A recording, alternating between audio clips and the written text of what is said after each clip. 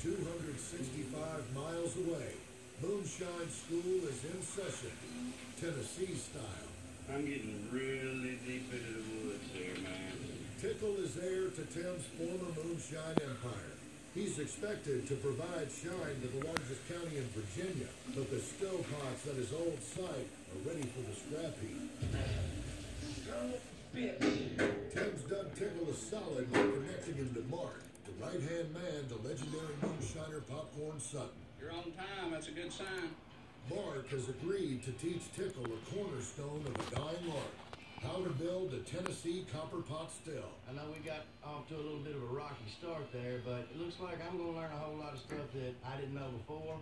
And that's the whole reason for this trip, to help my business out, help me be able to expand, help me be able to provide the amount of liquor that I'm going to need for the territory I've got to supply.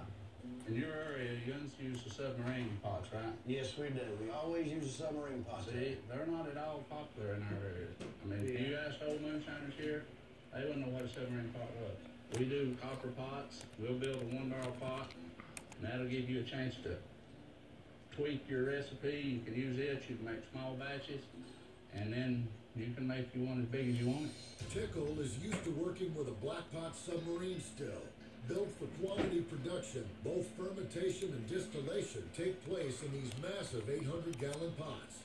Full metal construction and soldered seams make the copper pot still the shiner's choice